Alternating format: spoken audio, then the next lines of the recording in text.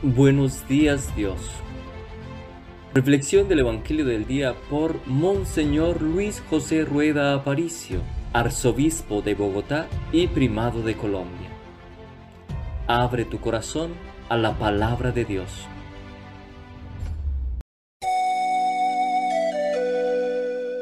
En el nombre del Padre, y del Hijo, y del Espíritu Santo. Amén.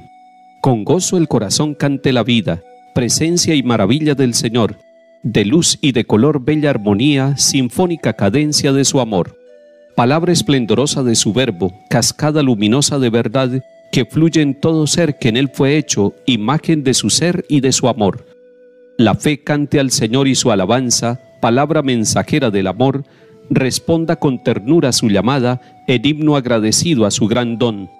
Dejemos que su amor nos llene el alma en íntimo diálogo con Dios, en puras claridades cara a cara, bañadas por los rayos de su sol. Al Padre subirá nuestra alabanza, por Cristo nuestro vivo intercesor, en alas de su espíritu que inflama en todo corazón su gran amor. Amén. Lectura de la carta del apóstol San Pablo a los Romanos, capítulo 16. Hermanos, saludos a Prisca y Aquila, colaboradores míos en la obra de Cristo Jesús para salvar mi vida, expusieron su cabeza, y no soy yo solo quien les está agradecido, también todas las iglesias de los gentiles. Saluden a la iglesia que se reúne en su casa. Saludos a mi querido Epéneto, el primer convertido a Cristo en Asia. Saludos a María, que ha trabajado mucho por ustedes. Saludos a Andrónico y Acunia, mis paisanos y compañeros de prisión, ilustres entre los apóstoles, que llegaron a Cristo antes que yo. Saludos a Ampliato, mi amigo en el Señor. Saludos a Urbano, colaborador mío en la obra de Cristo, y a mi querido Estaquis. Salúdense unos a otros con el beso ritual. Todas las iglesias de Cristo los saludan. Yo, Tercio, que escribo la carta, les mando un saludo en el Señor. Los saluda Gallo, que me hospeda, y toda esta iglesia. Los saluda Erasto, tesorero de la ciudad y nuestro hermano cuarto al que puede fortalecerlo según el Evangelio que yo proclamo, predicando a Cristo Jesús, revelación del misterio mantenido en secreto durante siglos eternos y manifestado ahora en los escritos proféticos, dado a conocer por decreto del Dios eterno, para traer a todas las naciones a la obediencia de la fe, al Dios único sabio por Jesucristo, la gloria por los siglos de los siglos. Amén. Palabra de Dios, te alabamos Señor.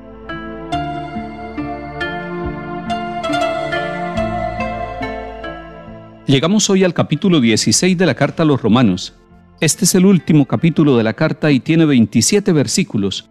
Valdría la pena que usted lo leyera en su casa y que fuera subrayando y que después de subrayar se fuera interrogando sobre esta lista de personas que aparece allí. Pablo se está despidiendo y empieza hablando de la diaconisa Febe, una mujer consagrada que sirvió como diaconisa en la comunidad de Sencreas.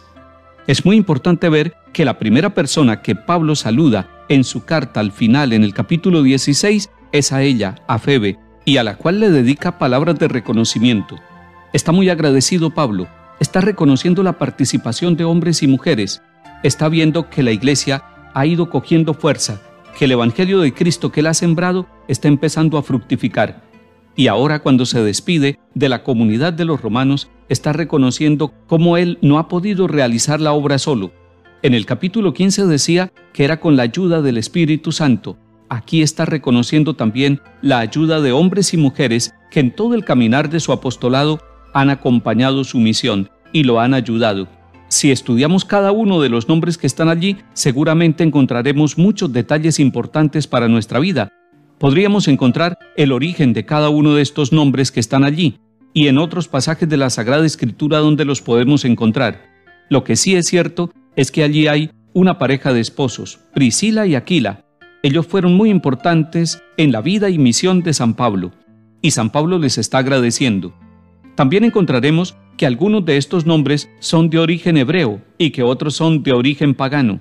Es que la iglesia se ha ido conformando de esa manera, con hombres y mujeres concretos, con historias concretas, cuando miramos nuestras parroquias, cuando miramos nuestras comunidades, cuando miramos nuestra iglesia diocesana, encontramos que son hombres y mujeres de distintos orígenes, que han venido de unas regiones de distintos países, pero que unidos en la única iglesia de Cristo, unidos en torno a la Eucaristía y a los sacramentos, ellos también se sienten iglesia. En la vida suya y en la vida de cada uno de nosotros hay hombres y mujeres que han conocido a Cristo, que han recibido el Evangelio, que lo celebran y lo viven en la Eucaristía y en todos los sacramentos y hacen parte de nuestra historia de salvación. Hoy que sea un día para agradecer a tantas personas que nos han ayudado a conocer la fe, a madurar en el seguimiento de Cristo Jesús. Salmo 144. Día tras día te bendeciré y alabaré tu nombre por siempre jamás. Grande es el Señor, merece toda alabanza, es incalculable su grandeza. Una generación pondera tus obras a la otra y le cuenta tus hazañas. Alaban ellos la gloria de tu majestad y yo repito tus maravillas. Que todas tus criaturas te den gracias, Señor, que te bendigan tus fieles, que proclamen la gloria de tu reinado, que hablen de tus hazañas.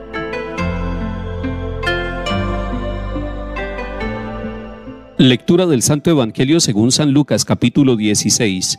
En aquel tiempo decía Jesús a sus discípulos, Gánense amigos con el dinero injusto para que cuando les falte, los reciban en las moradas eternas. El que es de fiar en lo menudo también en lo importante es de fiar. El que no es honrado en lo menudo tampoco en lo importante es honrado. Si no fueron de fiar en el injusto dinero, ¿quién desconfiará lo que vale de veras? Si no fueron de fiar en lo ajeno, lo suyo, ¿quién se los dará? Ningún siervo puede servir a dos amos, porque o bien aborrecerá a uno y amará al otro, o bien se dedicará al primero y no hará caso del segundo. No pueden servir a Dios y al dinero. Oyeron esto los fariseos amigos del dinero y se burlaban de él. Jesús les dijo, Ustedes presumen de observantes delante de la gente, pero Dios los conoce por dentro la arrogancia con los hombres, Dios la detesta. Palabra del Señor. Gloria a ti, Señor Jesús. Estamos leyendo el capítulo 16 de San Lucas.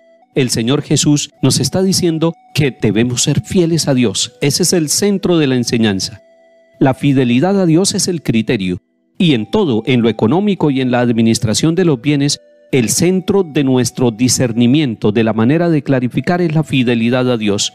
Y tendríamos que hacernos una pregunta a la hora de encontrarnos con un negocio, con una posibilidad de ganancia o con una propuesta que nos trae duda para nuestra conciencia. Deberíamos hacernos la siguiente pregunta. ¿Esto que me están proponiendo, esto que estoy pensando realizar, este proyecto económico o administrativo, es fiel a Dios? Me permite a mí vivir la fidelidad a Dios, en sí el proyecto va según la fidelidad que Dios quiere de cada uno de nosotros y de la manera como hacemos prosperar los bienes que Él puso en nuestras manos? Esas preguntas deberíamos hacerlas, porque no vaya a ser que nosotros por un lado le pedimos a Dios que nos ayude y Él está dispuesto a escuchar nuestra súplica diariamente, pero que por otro lado nosotros no lo escuchemos a Él en la manera de realizar las cosas que tenemos en nuestras manos. El Señor Jesús nos está dando estos puntos bien claros. El que es de fiar en lo menudo, también en lo importante es de fiar. En otras palabras, lo explica él mismo. El que no es honrado en lo menudo, tampoco en lo importante es honrado. Se busca que nosotros seamos honrados en lo poquito y en lo mucho. No vayamos a pensar que los que son deshonestos son los que manejan grandes capitales. También puede ser que aquellos que manejamos pequeños capitales caigamos en la tentación de la deshonestidad, de ser poco honrados. Quitemos toda corrupción de nuestra vida. El Papa Francisco nos ha dicho nosotros podemos ser pecadores, pero no seamos corruptos. La segunda y central enseñanza es la que nos dice el Señor Jesús. Ningún siervo puede servir a dos amos, porque o bien aborrecerá a uno y amará al otro, o bien se dedicará al primero y no hará caso del segundo. Y nos clarifica, no pueden servir a Dios y al dinero. Esa enseñanza es clarísima. Nosotros tenemos un solo amo, que es el Señor Jesús, y a Él debemos ponerlo en primer lugar. No lo contrario, poner en primer lugar el dinero y que el Señor se venga a trabajar con nosotros para ese Dios que nosotros tenemos y para esa meta llamada dinero. Los bienes materiales y todo lo que Dios nos regala están al servicio de nuestra santificación, al servicio de nuestra fidelidad a Dios, No podemos servir a dos amos. El único amo que tenemos es el Señor Jesús. El resto son instrumentos o herramientas puestas en nuestra vida que no las llevaremos a la eternidad. Y por eso el Papa Francisco dice, nosotros en la mortaja no llevamos bolsillo y en el ataúd no nos llevamos las cosas que hemos conquistado en esta vida. Al escuchar esto, muchos se pueden burlar y decir, meter a Dios en la economía es una ingenuidad, pensarán algunos.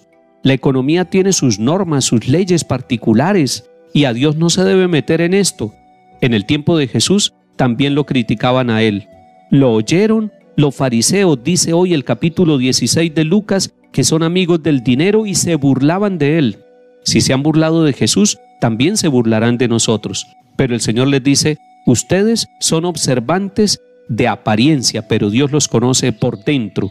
A usted y a mí también el Señor nos conoce por dentro. Él sabe nuestras necesidades, Él va a bendecir nuestras obras, Él hará prósperas las obras de nuestras manos, pero si nosotros estamos dispuestos a que nuestro corazón sea fiel al plan de Dios. Que el Señor nos bendiga y acompañe en el nombre del Padre, y del Hijo, y del Espíritu Santo. Amén.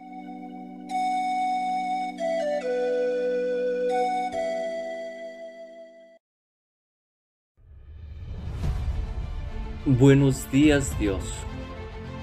Reflexión del Evangelio del día por Monseñor Luis José Rueda Aparicio, arzobispo de Bogotá y primado de Colombia. Abre tu corazón a la palabra de Dios.